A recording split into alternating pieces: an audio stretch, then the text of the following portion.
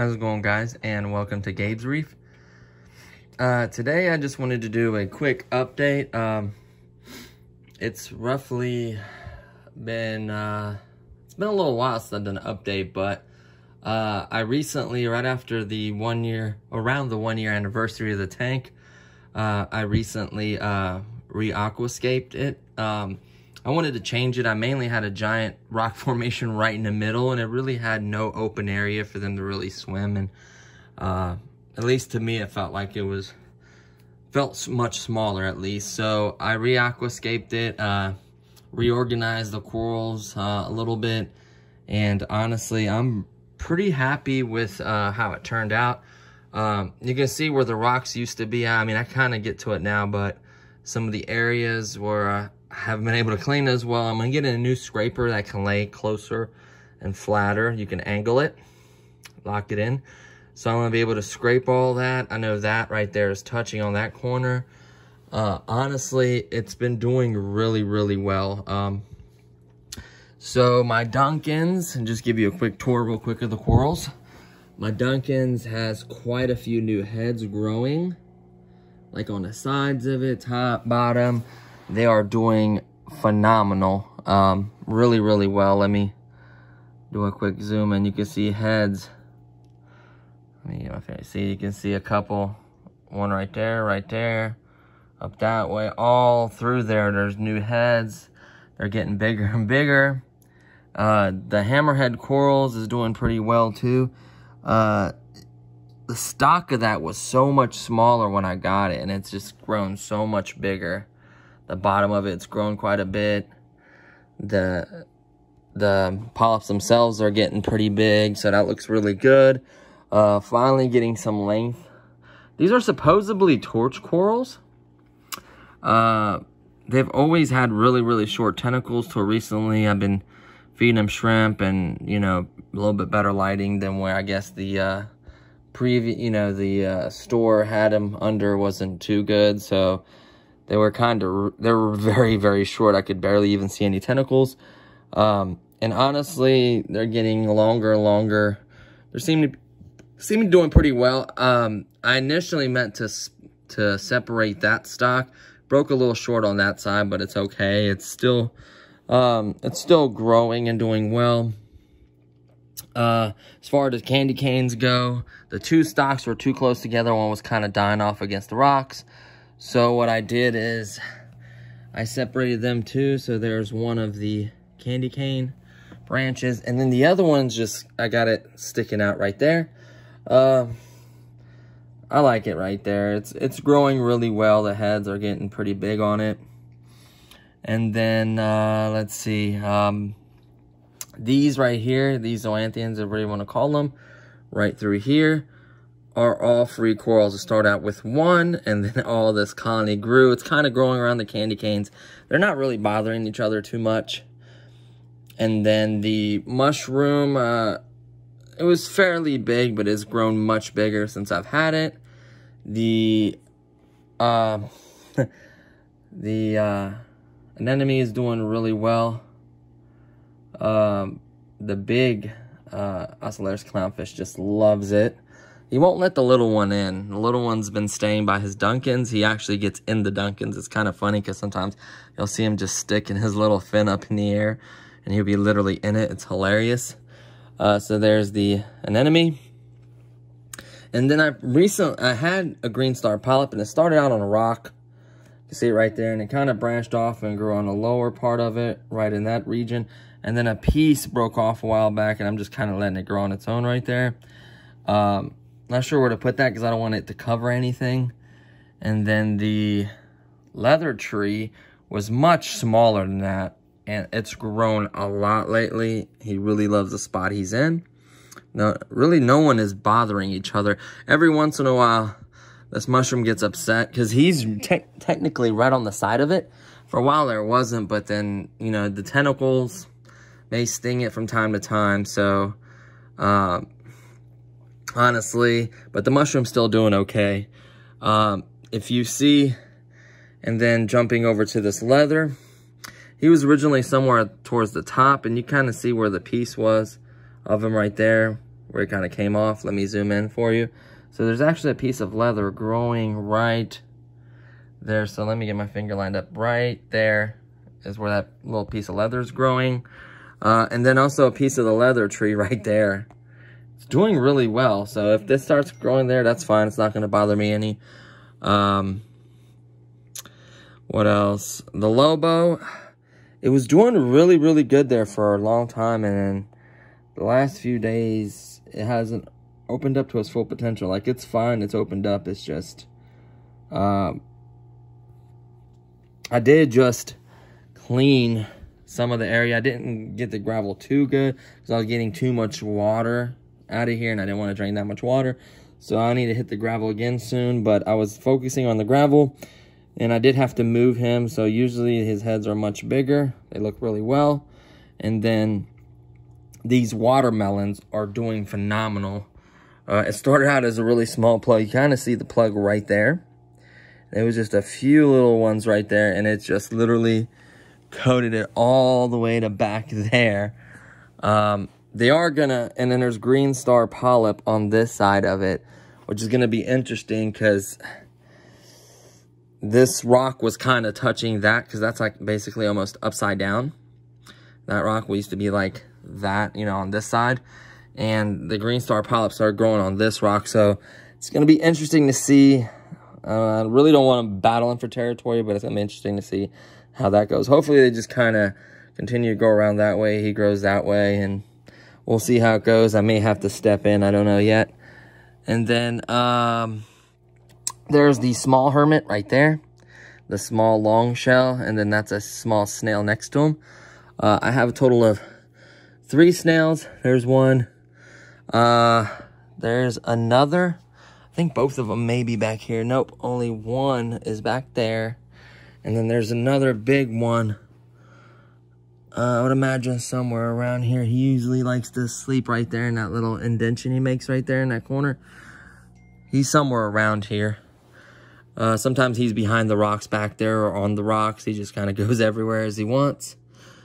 Uh, but there's that snail, so three snails. And then I have one big hermit that's actually in that big shell right there. Out of the three, the biggest one, that's the one he lives in.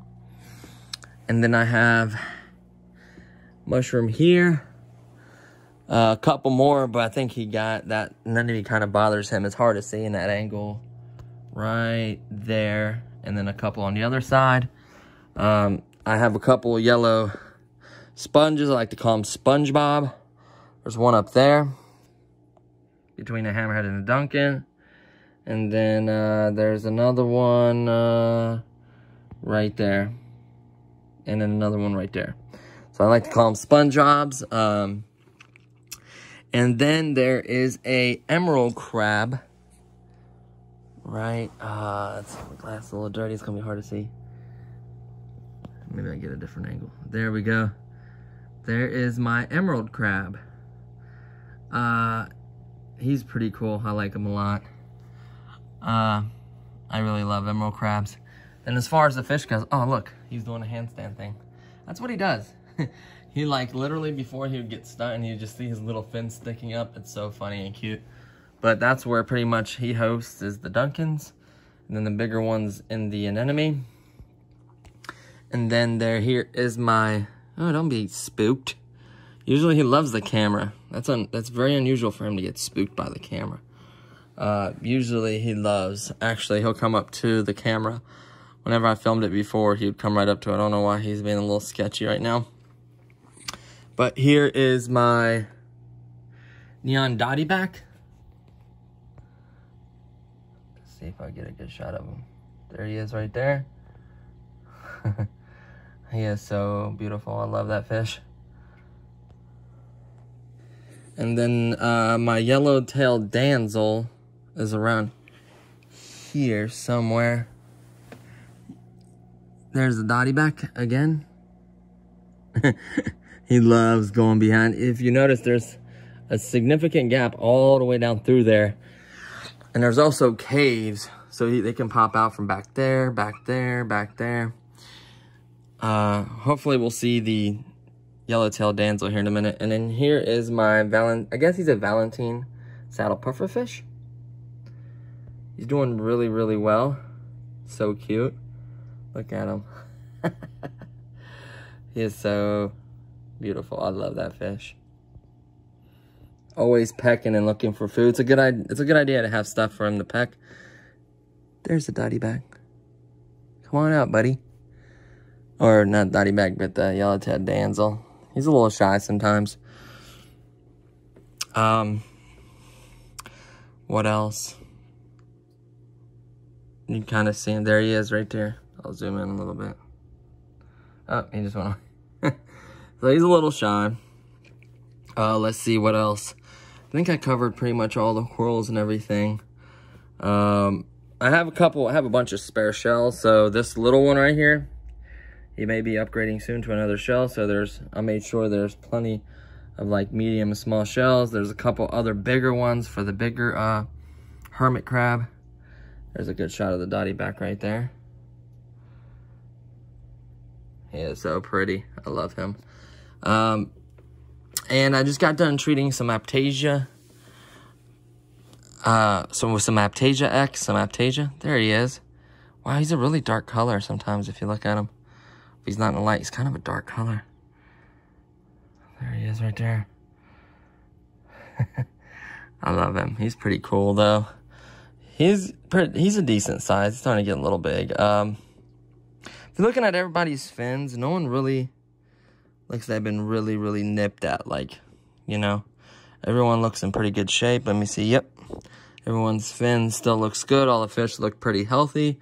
Um, as far as the filtration and everything, honestly, in my opinion, the 200 and like 30 gallon or 50, it's just under 300 gallon pump. That's back here, in my opinion, is a little bit small. That is your return pump. Uh, it's a little small. I wish they would put like a 350, 400.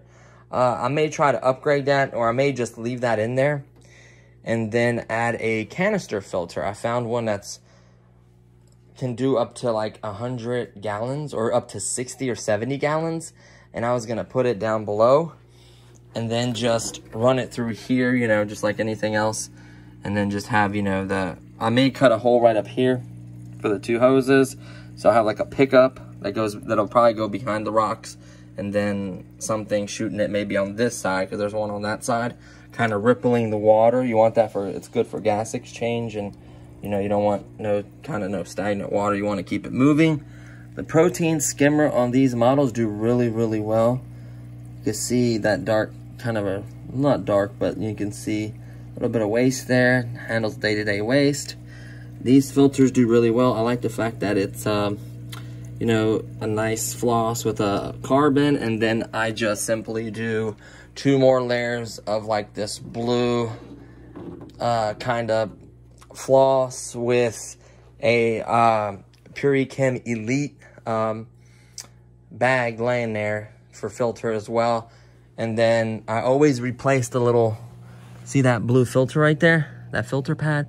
Always, it separates the second and third chamber. Always, always clean that out. It's usually like a black thick one. I just buy the blue stuff and fold it and stick it in there. Always clean that, replace it. You'll see that'll get dirty. And um, honestly, one of the most important things you can ever do for a BioCube is suck out the first chamber. That gets really, really gross down in there. Uh, there's a 100 watt heater down in there. I don't know if you can see the top of it or not. I'll try to angle it. But it's down in there, 100 watt heater. Suction cups up against the back wall. I already set my temperature. Um, in the winter time, it's not as warm as the summer, so it kind of gives them a little bit of a change. You don't want your, you want to keep your temperature within, I guess, like a degree. So there's what my temperature runs at. If you can focus. To me, it looks like 71. So two, four, six, around about 76, 77 degrees. Uh, usually it's about 78 to 79 in the summertime, no higher than 80, and it's usually never below uh, 75. So uh, you don't want it to be, you know, gra gradually, you don't want it to gradually change. Like you don't want it to just jump and always have your temperatures change. Typically it stays within one degree. And then the salinity, I like to keep it at about 124-ish, 120, about 124, and I think it's like 31 parts per million because I think 125 is like 32 parts per million. So I keep it somewhere around there. I try to not let that bounce around. Um, I have these, they're, they're supposed to be like 260 gallons, 260 gallon circulation pumps. Um, I keep two of them. This new layout, I have to, you know, keep everything kind of circulating and moving. So I keep one on this side, one on the other. Recently, this right here is the only thing that failed on this. I had this for well over a year. Pump works perfect the suction cup little latch thing when I was cleaning the tank to move it to clean it. Uh, that's why I don't recommend really moving these too much because with time these can break. The magnet ones are much better if you can find the right size and they're much more expensive of course. These are like 10 bucks or something but that little latch right there broke so it couldn't suction cup. So what I did is I ordered a new one for $9.99 from Amazon, got it the next day and I just put the new suction cup on stuck the pump on there, and then kept the new pump in there as a spare. So if it, um, one of them burn out or gives out or something breaks on it, I could just slide on the new pump and just keep everything moving. Um, there he is. He's usually not too shy of the camera. Let me zoom in a little bit. Uh, as far as the stand and everything, everything's holding up well. Plenty of room down there. Uh, like I said, I'm going to put the canister filter as a hole back there behind that bag. But the canister filter filter right there, it's not that tall. It's about this tall, I'd say. Probably like that wide, maybe a little bit more. Has like a, I think like a uh, four or 500 gallon, like a three or 400 gallon little pump in there. So that's all you need. It can circulate up to like, it's rated for like 60 gallons or 100. So, you know, me bumping it up from, you know, 260, 270, whatever that is, to another 300 would be perfect. That'd give me so much better nutrient, not nutrient so much removed, but so much more waste removal. Um, while you see a lot of this right here in my gravel, I gravel vacuum it. It's not the best gravel vacuum, so it doesn't get it all perfectly. But uh, you can see uh, some of it right there, how the gravel looks spotted like that. I kind of don't like that. I like really white, bright gravel. looks so amazing when you can keep it that way, but it's hard because I do feed shrimp every day. So this guy right here, the pufferfish, love shrimp. You get them to eat pellets as well, but they're mainly gonna wanna eat the shrimp. Anemone eats shrimp. My Duncans eat shrimp. The Lobo eats shrimp. Uh, pretty much all these corals can somewhat digest some kind of shrimp or something like it. So, you know, it's quite a bit of waste in here. The cleanup crew isn't... It, the snails do okay, but it really needs to be cleaned. It's not, I don't have enough cleanup of a crew to really make a difference. I mean, it helps a little bit, but uh, it just, it's not enough for what I have. So uh, I still have most of the fish, fish food flakes. I don't put it in there that much. I do have them. Uh, algae pellets when I first started. I don't know why I got those. I thought maybe they didn't have enough algae or something, kind of keep them alive while the tank was maturing. I still have my original hydrometer. I don't recommend these at all. Uh, even though this is an instant ocean, there's too many air bubbles. You always got to tap it, make sure it's perfectly level, and just a pain in the butt to use. I recommend the refractometer. Um, uh, let me set this in here. Of course, I can't see. Uh, these Spectrum pellets are probably my Ocellaris clownfish favorite food, and the yellowtail damsel and the neon dotty back is loving these. Uh, the pufferfish will eat them, but it's not their it's not his favorite. Obviously, the shrimp is. Um, these are very nutritious, very good for your fish. And I got the small ones because the dotty back's mouth isn't that big. Either is the uh, damsel, so I try to get the smaller ones. My bigger clownfish could probably eat some bigger ones. His mouth's really big, but honestly, um, not the not the little one cannot. Uh, always keep a heat. Well, a uh, uh, heat or laser, I forget what is that, thermal gun or whatever you want to call it, just to kind of, when I'm mixing up water in a bucket, just to make sure that thermometer, you know, the, the heater works well and it can detect, you know, what temperature it is and make sure it's heating up right. Um, you can also check the tank with it, even though the glass kind of messes with it a little bit. Well, no, it says 76 degrees, and that's about what it is, so it's pretty accurate, I guess. Um, refractometer is the best ones you can get. They're only like 20 bucks. This is your best bet right here. Just make sure you have uh, distilled water to calibrate it. And then from there on, I haven't had to readjust it or anything. I just put a couple of drops of water and then it always tells me what it is. This isn't like a really high-end brand or anything. I think it was like 20 bucks on Amazon. As far as the testing kit go, I got the Saltwater Master plus like a, basically every other one you can get. Phosphate, ammonia, uh, alkalinity, magnesium, uh, pretty much everything you can think of I can test for, which is always nice. Uh, initially, I planned on dosing a bunch, but I realized I really don't need it for the tank I have. As long as I change the water once a week, it kind of replenishes most of everything. Um, I have protein, you know, the protein serum, I have a very small air pump back there, kind of hear it. Uh, I recommend, if you get a power strip, switches. These are live, so I can I can turn off each individual channel without having to unplug wires, having them all ran over. I pretty much memorized which one it is. You know, first one, uh, protein, right pump, left pump, uh, main uh, return, uh, heat, light. So I know exactly which one it is. Once you've had it on there for a while, you kind of memorize it. Um, these little pipes right here, I usually typically use them. I have quite a few of them. So you'll see the one I feed uh, phytoplankton one's kind of green. Uh, the really, really thick, thicker one, not as long as for like um, other nutrition or food. And then this long, skinny one is actually for uh, dosing if I have to, like a little bit of calcium or what else. I also have one down here, a little bit bigger one if I have to do a higher milligram. Um, you know, as far, I do have everything like alkalinity, magnesium, uh, iodine. You know, I have everything that you need to dose, um, just in case the levels go down or I need to add some. Uh, I do also have coralroids. You know I mean? Those are very, very important. Um, you know, I have all the good, you know, lines in case I want to do a drip and acclimate something. Uh, measure, that's really important. This, this is a half cup for like salt. So when I mix my salt mix, I know, I you know, I know how many of these I got to put in per gallon or whatever. Uh, this is the main way how I feed. Turkey bases I think are the best. You can, they come right up to it. Oops, there's a little bit of water in there. you, they come up right up to it. Eat, uh, have a net to get them out if I have to. Connect it to the scraper. These are always good to remove stuff you don't want to touch. Toothbrush, older toothbrush. I do clean it, wash it. Uh, these are good to like clean little parts on like the circulation pumps. Um, you know, anything that needs to be cleaned. These work really well. Uh, they say to keep a little notepad and notes. I did that originally. I kept track of like how my levels weren't changing. I realized after you have the tank for so long and you constantly do the same water change, everything was pretty well balanced. Uh, I never had any spikes or any issues or crashes yet, fingers crossed. But like I said, you know, I keep doing the same routine and it's worked so really well for me. Obviously do the reef uh, crystal one that's got, you know, the calcium, everything I need in it. Uh, there's a little tank right there. There's an extra heater, which heats up the bucket where I mix the water in. And then the other side of the circulation pump. And then that thing right there just basically has Aiptasia X, any kind of fungus or any kind of cyanobacteria, anything. I have a treatment stuff in there and that thing for it.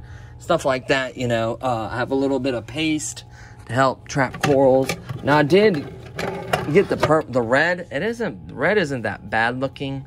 Kind of see it there kind of see it actually. It was, I was getting frustrated because I would put a little bit and they wouldn't stay. So I just got tired of messing with it. So I put more than I probably should have. But I know that they're not going to fall. I hate my corals falling over and getting upset. Then they close up. Then I have to wait for them to open back up. It's just a fiasco. But uh, honestly, tank, no leaks. Everything's held up fine. I absolutely love the fact that you can see all the chambers behind there. I have mine a little close to the wall. I honestly recommend giving yourself some space just so you can kind of see what's going on, how the flow is going through the chambers, what's going on with what.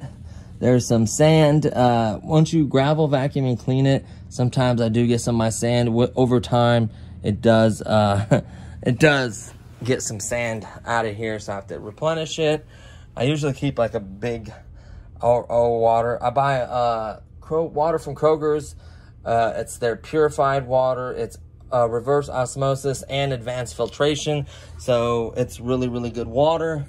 Uh, my little glass cleaner, these are always nice. Uh, as far as the lighting and everything, it's worked perfect. I thought I had an issue a while back, but it wasn't. It was the time, the way it was set. Uh, it comes on when it should. It turns off when it should. Works perfectly. Uh, love it. Love the fact that it's LED. It has little fans in there that helps cool it. Uh, just remember to clean this glass every once in a while. Ooh, that's bright. Remember to clean this glass. You can see like a little calcification, a little bit of calcium right there.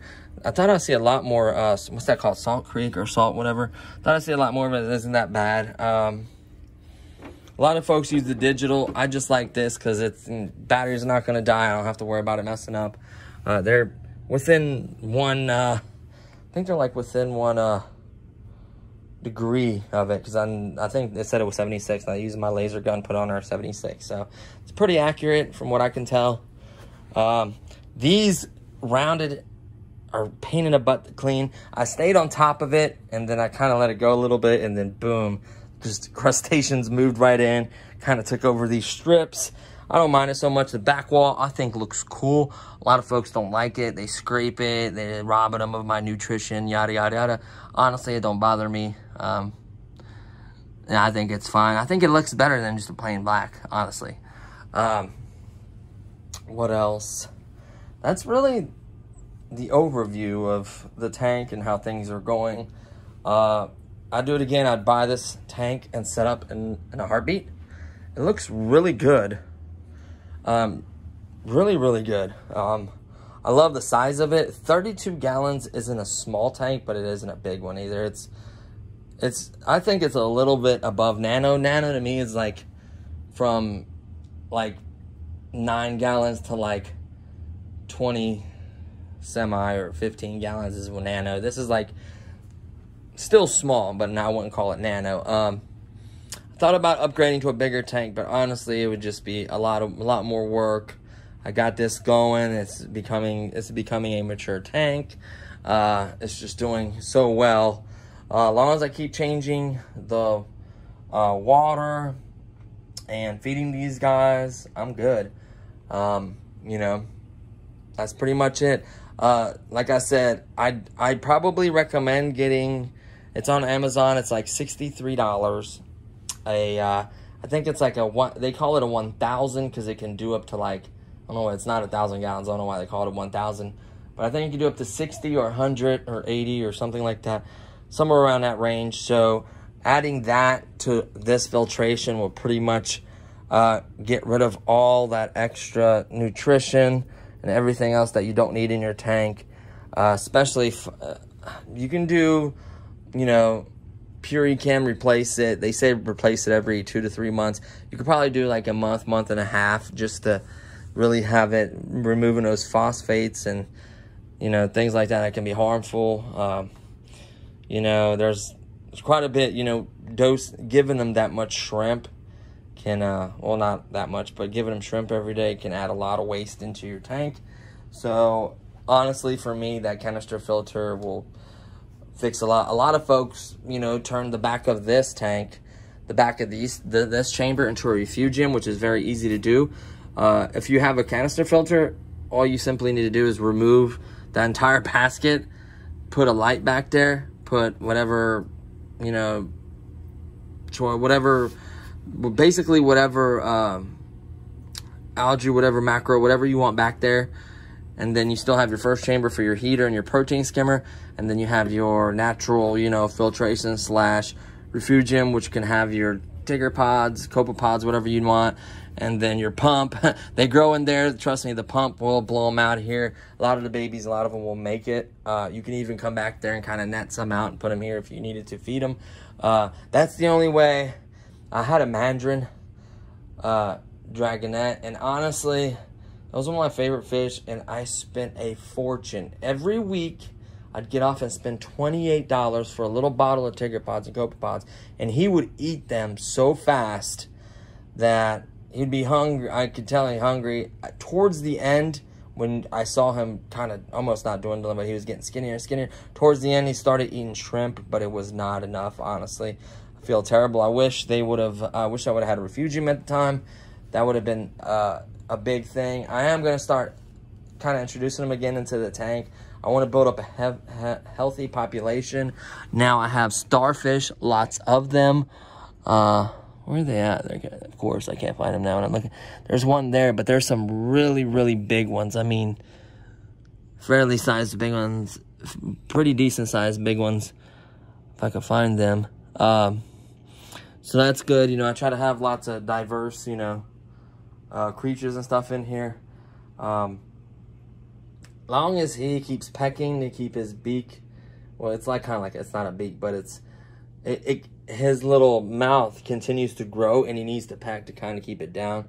I've seen folks having to, you know, horror stories, people having to do, open it and open his mouth and, and feed him until he get it removed or adjusted or whatever. Like just, you know, do your research on each fish. Figure out if it's right for you, right for your tank. Honestly, they recommend a 40 gallon tank for him. Uh, 40 to 50. 32 is kind of, I wouldn't say it's it's on the small side, but he'll be fine. I'll watch him as he grows. They don't typically get big. They're the smallest, one of the smaller ones out of pufferfish, if not the smallest probably. Um, a little bit of salt creep right there. Uh, try to get that off as much as you can. What the most point, the most area I'll get the most is like right here.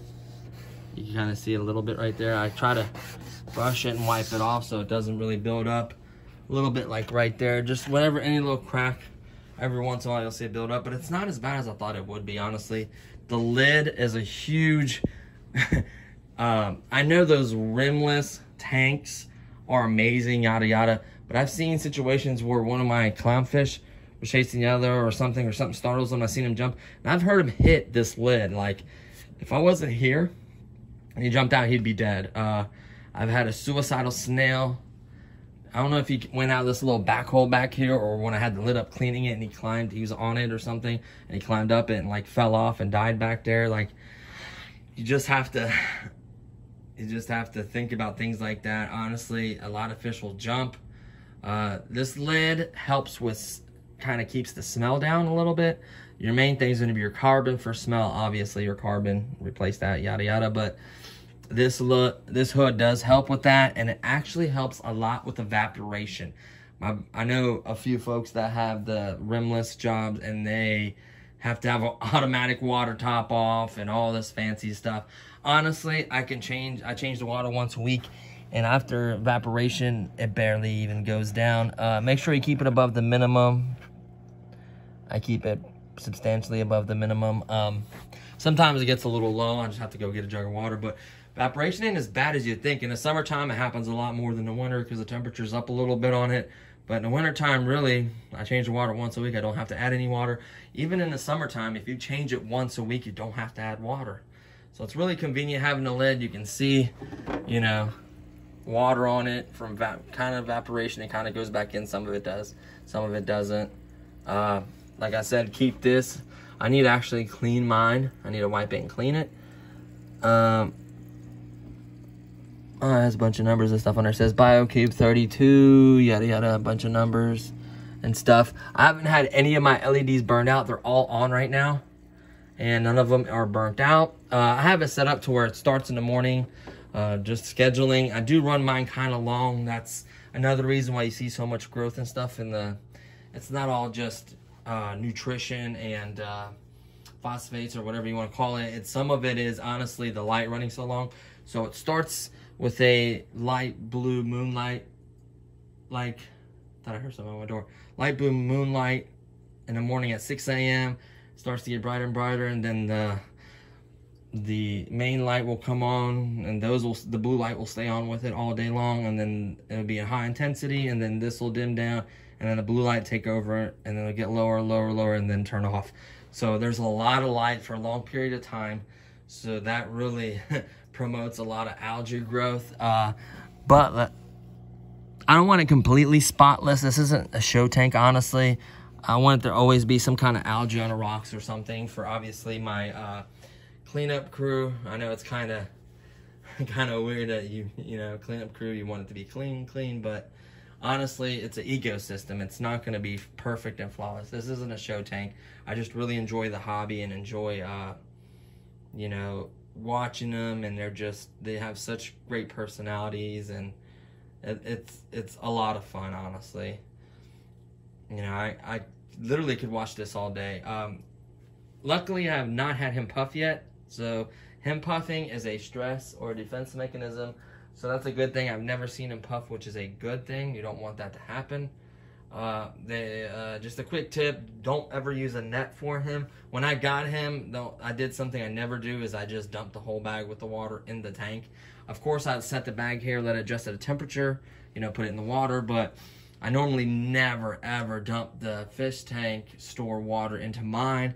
I if you were to dump that and he was being a net, he'd be scared, he'd puff up, he'd get an air bubble or I forget what that's called, and it can it's not it's it's bad news for him. So I just chose to go ahead and just dump that water. It wasn't that much, you know, and doesn't look any. It, I haven't noticed anything bad or anything yet. So that's pretty much. uh it's pretty much everything. They're getting hun- they're hungry. Uh, I do feed only once a day. I don't want to feed twice a day. That'd be ridiculous amount of waste. It's already enough as it is. Produce they produce enough waste. So uh, honestly, I feed once a day. Uh, shrimp and pellets. So the main course is shrimp. I like barely squeeze any out. They eat it. I squeeze a little bit more out. They eat it. I don't just let it. I don't just throw a whole chunk in there and let it blow everywhere and get everywhere. I try to you know, control the feeding. That helps out a lot with your waste management and everything. Um, feed your corals. You know, the the anemone will eat them. The Duncans, the hammerheads, the torches, uh, even candy canes will eat a eat some shrimp. The Lobo loves shrimp. Like, don't be afraid to feed them. Uh, I don't do that often because I don't want them getting crazy, crazy big. I just want them to be healthy and not grow slow per se, but just the normal rate. You know, I don't want to rush in and keep feeding it all this nutrition and putting all this nutrition in the tank. So, uh, but honestly, I think everything's doing well. It's not the cleanest, but everything seems to be happy and healthy from at least what I can tell. So, I'm super happy about that. Um, this video went a little long, but just kind of overviewing everything and uh, kind of telling you everything I've done and what I've what I've experienced with this tank. Um, I would definitely recommend it. Just make sure. Um, honestly, I wouldn't get no more than uh, five fish if it was me. I would not do more than five fish. Uh, you could do quite a few corals. Just make sure you give yourself room. Honestly, these are a little close together. Uh, they sound like a thumb rule. Some people, people say six inches. Some people say eight inches. Honestly, as long as they're not touching and there's no chemical warfare going on or them battling over territory, you kind of have to watch that. Um, he anemones will sting everything. They're pain in the butt. Uh, you just gotta hope that they stay in a spot that you pick. He typically just wanders from that little cave right there to about there. Sometimes he'll be on the backside of that around there, but mainly I'm glad he stays in that area. I don't think he can reach that coral yet. The mushrooms has kind of gotten used to it, and he's still growing and doing okay. So, um, you know, it is what it is. Um, you can see the old paste, the white. I don't ever recommend you buying the white paste. It takes forever for stuff to grow on it and cover it up. I need to get that out, honestly. Uh, just like an old screw a screwdriver or something with a metal point, you can just kind of pop it and it kind of breaks up, grab, take it out of the tank and remove it. Uh, I did it in some other places, remove most of it. I just didn't get that. I need to get that. There's some back there too I need to get where I initially tried to put him back there and he kept falling back there behind these rocks and it was just a pain in the butt. And I just went back because I had two pieces of uh, dry rock. Well, it was live rock at the time, but uh, I removed it, put it in a bucket outside, and then I went back and grabbed one and put him in it, an opening, and he's just caught himself to the coral now, to the rock, and he seems to be doing well. So I'll just leave him grow like that. I think that looks cool there. The Lobo's own little island, three little islands you know, with a little cliff slide kind of design. So I'm pretty much happy with it. Um, what else? I got an automatic feeder. Honestly, uh, I've gone on vacation for what was it? Five days, six days, six days, five or six days, and I was fine. What I did is um, I didn't have the, I didn't have him to where I needed to fit him shrimp every day, but I had the damsel I had, uh, that's less clownfish. What else did I have? I had some fish. And I just put in the automatic, I opened this up like that. And I clipped on the automatic feeder here and set it up. Uh, I set up a couple days in advance to make sure that it fed correctly and it fed a decent amount. The pellets, and apparently it worked because they made it six days. Uh, had it came back, everything was fine. So um, that worked. Um, it just depends on what you have and what's going on. Make sure just changed the water before I left, fed him some shrimp before I left, and then filled it up with those little pellets. And it worked really well, so I was happy with that. But uh, that's it, really. Uh, what else I'm thinking? I think I covered everything I wanted to cover. Uh, I know this video is a little long, but you know, I just wanted to share that with you guys and give you guys honest opinion about it. Uh, it's definitely a thumbs up. I think it looks good. Two thumbs up. I think it looks good. You can really make it your own and just do. Just take your time. You know, don't rush it. I kind of rush my aquascaping a little bit. Take your time with your aquascaping. Put the rocks in first. Get them where you want them. Don't be afraid to get pins in there. Don't be afraid to glue it. Get them really solid and then put the sand around it. That way if you get a goby or something that moves sand, it doesn't cause your rocks to shift and fall. That's terrible. So uh, just tips like that. Uh, depends on what you want. This is a medium. They can still sand sift this. The fine, I think, is just too fine. Uh, they make a bigger one, but they don't recommend it for sand sifting gobies and stuff like that. So just do your research, find out what you want. This light is good. A lot of folks tell me it's not adequate enough for a anemone. There's anemone doing just fine. So really, I mean, I do run it a lot though. You know what I mean? That's another thing. You have to run a lot. These lights are, these corals are growing. These, this light is not bad. Um, it's LED, you know, it doesn't consume a crazy amount uh, of electricity, but uh, yeah, honestly, you can pretty much have most of the corals. You just gotta take care of them. You know, you get harder to take care of corals. Obviously, you gotta watch water parameters more. There's a lot more to it. So just do your research, find what you like, and go run with it. You know. So hopefully you guys enjoy the hobby as much as I do. So thanks for watching. I think now that's finally covering everything. Uh, prices, I'm not going to get into it just because it's depends on what you buy, when you buy it, if you catch a sale or not.